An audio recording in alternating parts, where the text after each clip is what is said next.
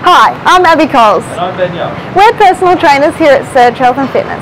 Today we'll be going through two different back exercises on the human trainer, which will be a single arm row and the reverse fly. The first exercise will be the single arm row.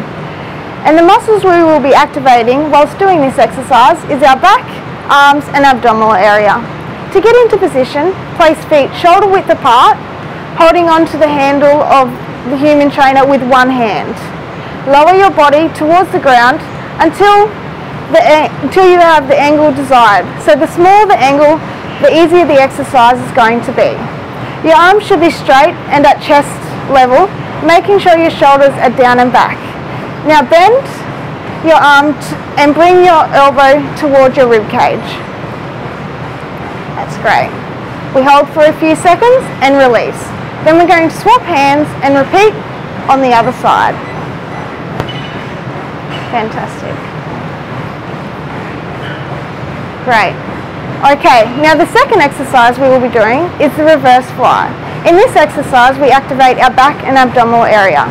The position of this exercise is very similar to the single arm row, but we will be using two handles instead of the one.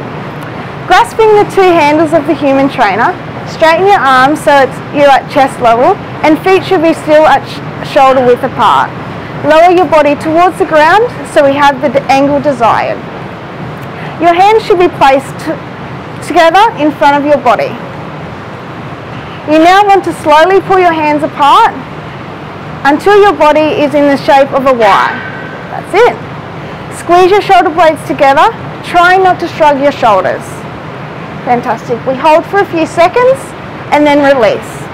I would recommend 12 to 15 reps and 3 sets for both exercises. I hope this has given you some ideas for your back exercises on the human trainer. If you have any questions, please don't hesitate to ask me or one of the other personal trainers. Tune in next week for some more great exercise ideas.